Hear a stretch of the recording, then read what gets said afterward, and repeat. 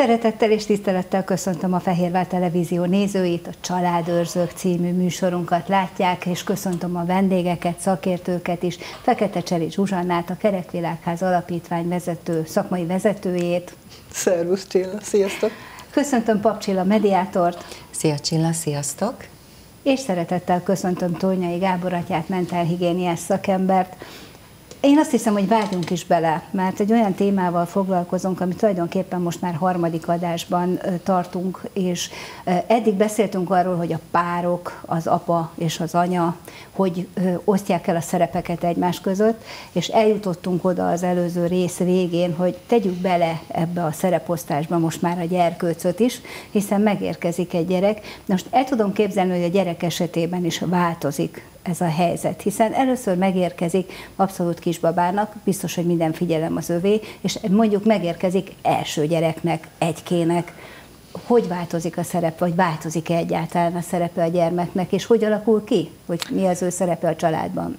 Hát én azt gondolom, hogy addig a fiatal pár, amíg együtt élt, addig ugye élték a nő a női szerepét, a feleség szerepét, a férfi a férj szerepét élte. Ahogy megszületik a baba, átalakul mind a kettő. A feleségből anya lesz első korban, a férjből apa. Na most ez egy teljesen más szerepszemélyiséget kíván tőlünk. De nem felejtjük el, hogy közben az anya feleség maradt, és az apa férj maradt. Mert ha ez elfelejtődik, akkor nem tud kialakulni egy egészséges egyensúly. A kezdeti időszakban, a születés utáni pár hétben ott minden a gyerek körül forog, hiszen ő az, aki meghatározza a mindennapjaikat. Később, ahogy kialakul egyfajta életritmus, ahogy kialakul az a rendszer, amiben mindenki jól érzi magát, ott újra egymás felé tud fordulni a pár, és ez a szerencsés, és ez a jó. Tehát, hogyha mindent ural a gyermek, és most tételezzük fel, hogy egészséges gyerekünk született, ha mindent ural a gyerek hat hónaposan is, meg egy évesen is, meg három évesen is, akkor sajnos ott nagyon-nagyon kóros egyensúly állt fel, és ott eltűnt az anya is, meg az apa is jó kelvén, de a nő, meg a férfi, a feleség, meg a férj az teljesen. Mi ennek Ez a baj. jele? Tehát miből tudjuk ezt, hogy a gyermek uralja a szülőket már kicsinek? Hát, rengeteg jele van egyébként, hogyha a gyerekkel keresnek meg, mondjuk vagy engem, vagy bármilyen más tanácsadót, akkor az gyorsan kiderül, hogy a gyerek nincs stabilitásban, nincs biztonságban. Hogyha ha külső szemlélőként nézed, akkor te magad is látod. Tehát ez bárki látja, hogy ott a gyerek irányít abba a családba, vagy a gyerekről szól az élet minden szinten. És ez nem túl egészséges, mert hogy egyébként meg egy csomó kielégítetlensége marad a párnak. Mondhatok egy gyors példát. Múltkor láttam egy nagyon aranyos, szimpatikus fiatal anyukát, aki az egy-másfél éves gyerekét tolta a babakocsiba, és ez a mondat hagyta el a száját, hogy ugye kicsim, te is egyetértesz azzal, hogy anya ezt vagy azt már nem tudom, hogy mit vegyem meg. Tehát a másfél éves gyereknek nem kérjük ki a véleményét, hogy mivel ért egyet. Nem Tehát is ez egy mondani. tipikus, nem is tudja mondani, de ez egy tipikus probléma. Tehát itt már megalapozódik az, hogy majd a gyerek lesz a főnök és szolgálják a szülők, és majd szalutálnak a gyereknek. Vagy csak szüksége volt anyának valakire, aki Akihez beszél. De több ilyet is hallok, azért is hoztam ezt, mert látom, hogy, hogy nagyon sok anyuka szerelmem, és, és vele beszéli, és, és egyebek. Tehát, hogy egyértelmű, hogy ja, igen, mi hozzuk a döntéseket. Igen, azt gondolom, hogy az is, az is nehéz, hogy ezt a Ugye szokták ezt is, megint magammal példálozok egy kicsit, hogy szokták mondani, kicsit így poénosan, bár talán manapság már kevésbé, hogy a jegyes oktatást miért pap tartja, hiszen ő mégsem él házasságban, hogy tud beszélni a házasságról, meg a gyerekekkel kapcsolatos dolgokról hogyan tud beszélni. És akkor mindig ezt szoktam, hogy igen, és minden párnak szoktam, hogy keressetek magatoknak egy olyan házaspárt, aki mint a számotokra, uh-huh. és tudtok velük beszélgetni a, a ti dolgaitokról. De, a, de a, és azért mindig meg is szoktam fordítani, hogy és a házaspárok honnan tudják jobban, hogy hogyan kell nevelni a gyereket. Mert hogy azt látom, hogy gyakorlatilag, és én most me a kulpa, hogyha bárkit ezzel megbántok, vagy szóval nem bántásképpen mondom, csak én azt látom, hogy gyakorlatilag a szülők is kísérleteznek a gyerekükkel, uh-huh. hogy szerintük mi, mi a jó. mert hogy nincsenek olyan fix mintáink, hogy hogyan kell ezt jól csinálni. És van, aki a, a russzói módon vissza a természetbe, a gyerek hadd nőjön föl, ugye vannak mindenféle módszerek, amire azt mondják, hogy engedjük szabadon, milyen gyerekpszichológiai irányzatok is vannak, hogy majd a gyerek, ahogy a természet neveli, fölnő, és ne kössük meg őt, hadd bontakozzon ki olyanná, amilyennek ő, és ha a szülőben ez a kép van, akkor ezt fog engedni a másik szülő irányzat és gyerekpszichológiai irányzat, amennyire látom, azt mondja, hogy legyenek határozott keretek, legyenek szabályok, amik le vannak fektetve, mert hogy a gyerek akkor érzi biztonságban magát, hogyha ezek a keretek, szabályok ott vannak, és ő nyilván ki fogja próbálni, és feszegetni fogja ezeket a határokat, hogy, hogy mit lehet és mit nem lehet. És akkor itt jön megint a, a szülő egyénisége, hogy, hogy amikor a gyereknek eljön a hiszti korszaka, elviszonylag hamar meg tud érkezni ez a korszak, akkor mit tud ő kezdeni ezzel, egy ilyen krízis helyzettel, hogy úristen, a gyerek leveti magát a földre a poltba, mert éppen nem kapja meg, vagy az anyuka próbálja fölvenni a gyerekét, mert hogy most már ne rohangáljon, és akkor egy olyan hisztit level, hogy inkább leteszi és rohangáljon tovább, hogy ugye mi a helyes és mi a jó, és ugye ez a, ugye ez a gyerek ural. A másik, és picit így, amit a Zsuzsi mondott azzal kapcsolatosan, hogy ez a szerepeket, hogy, hogy látjuk, nem látjuk, hogy hol veszik el a, a férj-feleség szerep. Szokták azt is mondani, hogy az is egy veszély tud lenni a szerepek elvesztésére, amikor a, a férj és a feleség apának és anyának hívja egymást. Így van. Uh-huh. Nem a gyerek hívja úgy, hanem a, a feleség apának hát hívja. Így szólítják. Apa, Ez lehet gyere, anya. Veszély. Veszély. Igen, veszélyes. Mindenképpen veszélyforrás. Hát most gondold végig, hogyha én a, a férjemet konzekvensen apának hívom, akkor az ő apa szerepét azt elismerem. De a férj szerepét, a férfi szerepét, az nem jelenik meg. Ha ő engem anyának hív, akkor elvárja tőlem, hogy én az anyjaként funkcionáljak. Bocsánat. Tehát az egy teljesen más, az, az, az egy, és a gyerek, az, ez, egyébként ez ugyanaz, mint a, a, a másik, amitől mindig dadogni kezdek, ez a királyi többes, az a uh-huh. büfisztünk, meg nem tudom én, mi mindent csináltunk együtt, Tisztába és tettünk. akkor, ja, már nem pisilünk be, már nem kell a pelús, már, na, szerintem megint dadogni kezdek, mert hogy, hogy vegyük már tudomásul, hogy én anyaként nem úgy élem meg az életem minden pillanatát, hogy a gyerekem tükrében.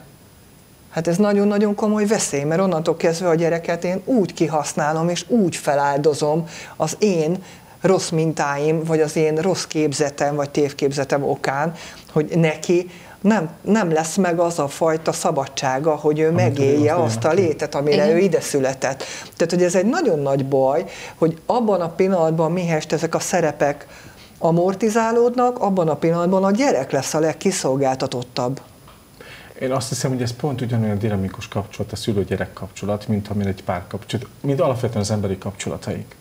És hogy ez a szülővé válni, és utána úgy szülőnek lenni, hogy elengedni, tehát hogy egyszerre belenőni, és utána elengedni, ez egy, ez egy nagyon nagy művészet. Szóval én minden, minden tiszteletem a szülőké, akik ezeket a, ezt az utat végig tudják járni. Ugye a nőnek van kilenc hónap előnye, legalábbis azt szoktam mondani, hogy a, hogy a nő az anyává válik, a férfi megtanul apának lenni. Uh-huh. Mert hogy ő, ő neki ott az a nyekergő kis akármicsoda, Ugye emlékszem rá, hogy a, amikor a, a tesómnak az első gyerkőcét megláttam, és megmutatták, és mondta, hogy hát, és mindenki oda volt ért, hogy milyen szép baba, és tényleg nagyon szép fiúvá nőtte ki magát, de, de én férfiként de az a béka, ez hogy szép, szép? szép. Hát, szép, és mindenki a, a család, hogy hát, hogy milyen gyönyörű baba, és tényleg nagyon szép fiúvá nőtte ki magát, mert azt így látom, hogy a lányok a dognak körülötte, és ő ezt így tudja is magáról, de az első, ez szerintem egy nagyon férfi reakció volt, hogy ez szép, hát ez hogy néz ki ez a baba, és ráadásul császáros baba volt, tehát szép baba,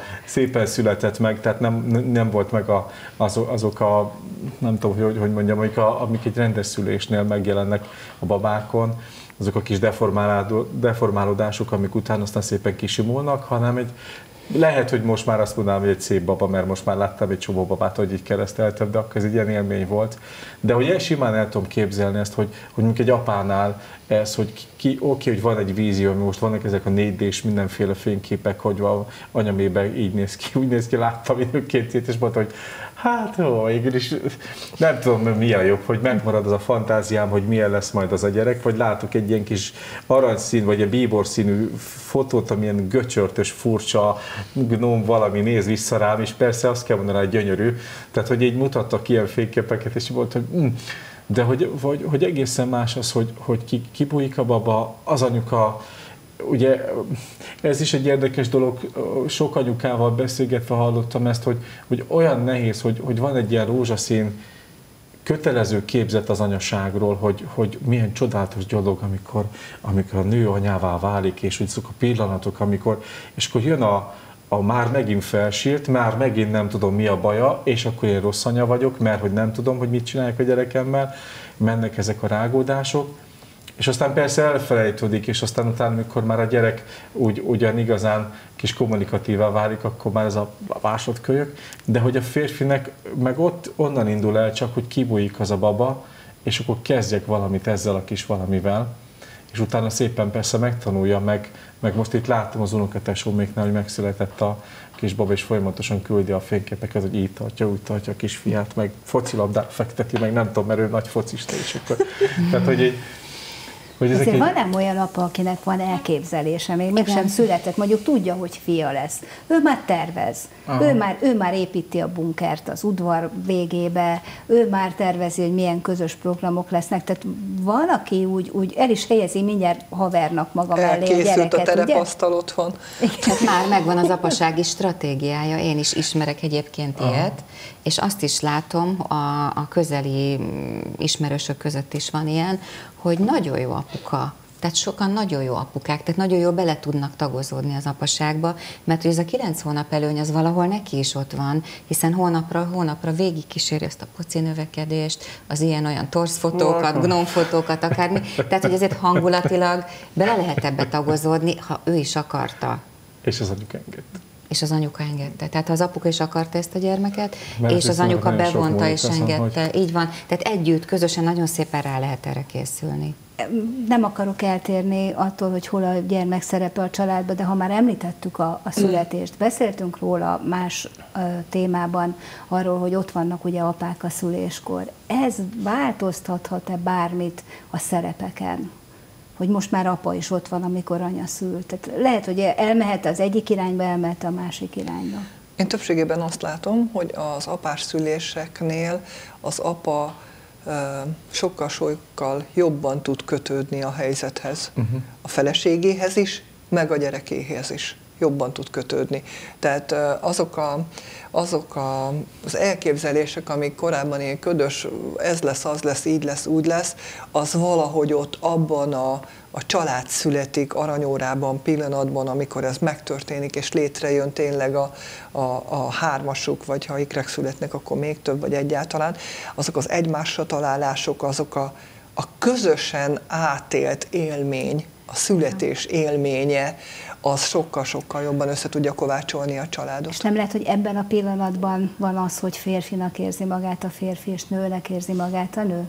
Szerintem apává válik azban a pillanatban. Abban a pillanatban inkább, inkább az apa és, és az anyaság. És az apa az nem a férfi? Nem. Nem. Nem feltétlen? Nem. Az nem. apa az apa. Az egy, az egy olyan szerepszemélyiségünk, az apa vagy az anya minőségünk, amikor én emberként és nőként megélem az anyaságomat, vagy ő emberként és férfiként megéli az apaságát. De az nem szinoníma a kettő. Mert attól ő még marad haver, marad barát, marad öcs, marad báty, marad millió más szerepe, szomszéd, akármicsoda. Tehát ezek a szerepszemélyiségeink, ezek nagyon-nagyon fontosak, hogy mind-mind megéljük őket, ezek a szociális kapcsolatok kapcsolódásaink színterei. Pedig Tehát, olyan férfias másrészt... büszkeség tud lenni egy apán, amikor megszületik a gyermek. Hát mert az övé. Az egy, a, szerintem, um, szerintem esetleg így, de hogy, de hogy én azt, lá, azt gondolom, hogy, hogy, hogy attól, hogy ő apa lett, attól nem biztos, hogy férfi is marad. Tehát, hogy attól, hogy ő apa lett, attól még megmaradhat és ezt most ilyen, ilyen elbillent helyzetet uh-huh. mondok most, tehát nem, nem a szép képet, ami ideálisan mozog, de hogy, hogy bele, beleragadhat abba, hogy ő, ő a gyerek marad a gyerekkel. Igen, vannak uh-huh. ilyen apa szerepek, amikor uh, az apa átmegy pénzgyártó automatába, valahogy az anyával nem sikerül egy igen, újabb igen. egyensúlyt uh-huh. kialakítani, őnek is sem marad sok minden más választása, mint hogy lemegy haverba a gyerekéhez. Vagy a hétvégi apukák, akik külföldön dolgoznak, vagy messze dolgoznak, hát, vagy bármi. Sok, sok feleségtől hallom ezt is, tehát nem mindenki, de sokszor hallom, hogy olyan, mintha még egy gyerekem lenne. És akkor ott, ott az már nem egy férfeleség kapcsolat, és akkor, akkor ott nem, nem, nem férfinői, hanem hogy ő, és ez megint ugye ez egy elbillent helyzet, és, és ezen lehet aztán persze dolgozni, csak kérdés, hogy, hogy felnőhet-e mellé újra a férfi, akit Megengedi az a nő a férfinek, hogy felnőjön, és fel akar-e nőni az Vagy a férfi. Mert hogy ez mind a kettőn múlik. Tehát ez egy párkapcsolat, akárhonnan is nézzük, Igen. ott a párnak kell tudni egyfajta olyan szimbiózist létrehozni, vagy egy olyan összetartozást létrehozni, ami az egészséges szerep egyensúly felé törekszik. És igen, hogyha elfáradt valamelyik sír a baba, akkor apuka is fölkelhet, hogyha már cumis üvegből lehet etetni, vagy meg és kell... meg is etetheti. És meg is etetheti. Is vagy bármi lehet, tehát hogy, hogy, hogy ezt ki kell egyensúlyozni, és valamilyen módon az egymásra figyelés. De hát ezért nagyon fontos, hogy a gyereknek milyen szerepe lesz a családban. Ugyanis, hogyha a gyereket tesszük meg kis császárnak, a család koronájának, onnantól kezdve mindenki félve fogja őt szolgálni, mint ahogy a császárokat félve szolgálták a világegyetemben mindig. Hogyha ez így marad, akkor ők nem tudnak egymás felé fordulni. Akkor ők félve nézik, hogy most mosolyog, vagy nem mosolyog. A gyerek meg úri kedve szerint fogja nyomkodni a őket, különböző igen. gombokat a lelkükön, hogy most szégyeljék magukat, hogy most örüljenek, most büszkék legyenek, most kétség. Tehát a gyerek az teljesen, teljesen el fogja uralni ezt az egész rendszert. Ez is egy nagyon-nagyon rossz állapot a gyerekre nézve. Ettől már csak az a rosszabb, amikor az anya, meg az apa harcol a gyerek kegyeiért. Tehát annál nincs borzasztóbb. Az valami, valami tehát egymás ellen használják a gyereket, hol fegyvernek, hol karnak, hol pajzsnak, tehát ott a gyerek ott végképp, végképp kiszolgáltatottá válik ennek, a, ennek az óriási érzelmi cunaminak. És ugye a hármas személyisége torzul, mert azzal, hogy én szeretem Pistikét, te szereted Pistikét, de egyébként mi harcban állunk, tehát ebből semmilyen szövetség, semmilyen értelmes dolog nem tud létrejönni. Én tehát még ez... eddig el sem mennék. Mondok egy képet, nagyon fogtok neki örülni. Hitvesi ágy, mondjuk egy francia ágy, és középen a gyerek. Uh-huh. Uh-huh. Ez, ezt, ezt is látom. És lehetőleg a hitvesi egy kétharmadát a gyerek foglalja el hat hónaposan, és a két szülő... És aztán az ott is marad igen, évekre. Igen, évekre, hát ez a probléma. Azt gondolom, hogy lehet olyan élethelyzet, hogy, hogy ö, oda veszik egy kicsit, mit tudom én, beteg az anyuka, vagy gyenge, nem tud felkelni, vagy, vagy bármi lehet, de vissza kell szoktatni. Tehát az, hogy évekre ott marad, meg hosszú időn át hálótárs lesz, Na, a hitvesi ágyban a gyerek. Én igazából azt hiszem, hogy azért ez, ez megint az a, az a kérdés, a, ugye a két módszer, hogy szabadon engedjük a gyereket, és nőjön azzá mi, vagy pedig legyenek keretek és határozottak legyünk, hogy ugye Dr. Spock megmondta, hogy, hogy és akkor nem érdekel, hogy a gyerek alszik, vagy nem alszik, fölkeltem és szoptatom, mert letelt a két óra, vagy nem veszük föl, ma hadd sírjon, erősödjön a tüdeje, aztán kész. Ugye, de a másik, tehát hogy, hogy, hogy mert hogy mind, mind, mind a két iskola esküszik a saját igazára, hogy a gyerek rögtön születése után külön ágy, külön szoba, aztán bemegyünk hozzá, vagy a másik, hogy a gyerek biztonságban érzi magát, hogy ott van anya mellett, és, és hogy csak ott ugye nehezebb az, hogy hogy választjuk le a gyereket, vagy mikortól kezdődik a leválasztás. Ez egy nagyon érdekes. Ismerek Igen. családokat, akik ezt a ma ugye a kötődő nevelésnek hívjuk egy ilyen összefoglaló néven. A kötődő neveléshez bizony azt tartozik hozzá, hogy hordozókendő, mm. és, és fizikálisan is együtt vagyunk, és bizony-bizony együtt is alszanak a gyerekekkel. Ismerek családot, ahol négy gyerek van, és úgy nőttek fel, hogy van egy óriási galéria, és akkor ott van megcsinálva az ágy, és mindenki ott alszik. Nagyon érdekes, ezeknél a családoknál egyébként anya és apa egymás kapcsolatában rendben vannak, uh-huh. keresztnéven szólítják egymást, mindenkinek megvan a szerepe és a helye a családban, kiegyensúlyozottak, amikor a gyerek úgy érzi szépen már megy, van lehetősége, hogy akkor ő most már a saját szobájába, vagy a két nagyobb együtt megy le a saját szobájába, vagy bármi. Tehát amikor a gyerek megérett rá, ebben a kötődési elvben ez így van. Viszont itt nem tették meg a gyereket egyiket sem császárnak. Uh-huh. Igen, igen, igen. A másik, Olyanról is tudok, az egyke, egy gyerekes család, ahol bizony megmondta apa a 12 éves gyereknek, hogy még egyszer kimered nyitni a hálószoba ajtót este 10 után. Kőkövön nem marad, mert egyszerűen addig bírt a cérnával. Uh-huh.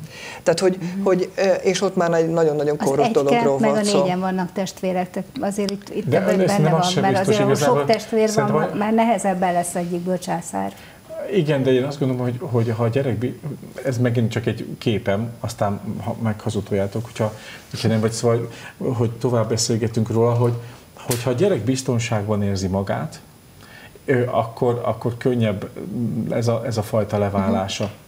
Hogyha valamiért neki, valamiért nem érzi biztonságban magát, akkor neki is nehezebb a leválása, azt Te gondolom. Abszolút igazad van, Gábor, és visszaigazolni tudlak. Tehát, hogyha a gyerek biztonságban érzi magát, minden tekintetben ennek az az előfeltétele, hogy az anya biztonságban érzi magát, mert ugye azért Igen.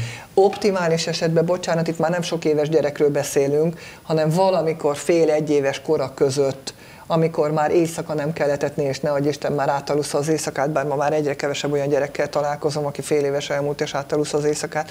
Szóval, amikor átaluszza már az éjszakát, akkor már igen, akkor már őt lehet úgy külön tenni, hogy, hogy biztonságba tudjuk, és ő is biztonságba érzi magát.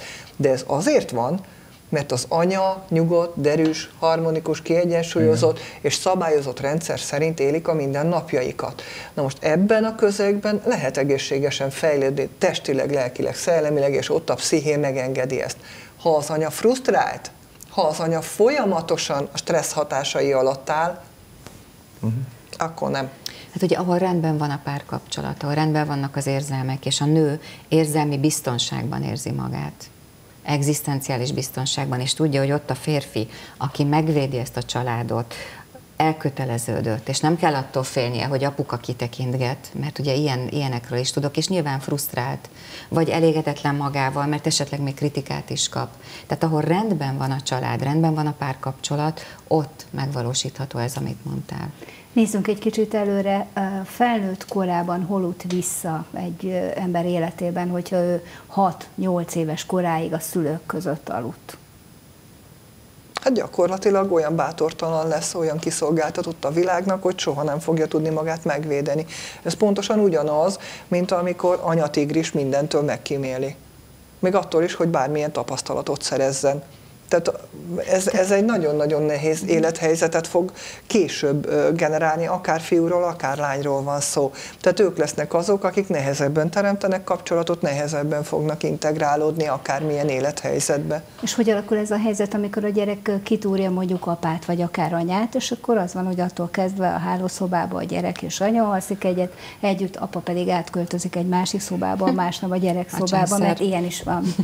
Erről nekem az jut eszembe mindig, hogyha e, megéri az elektronikus, az ödipális korszakot, ugye ez e, óvodáskor második felére tendál jobbára, hogyha ezt egészségesen meg tudják élni, és ezt átéli a család, akkor abból egy egészséges identitás alakul ki, és egy egészséges fejlődés.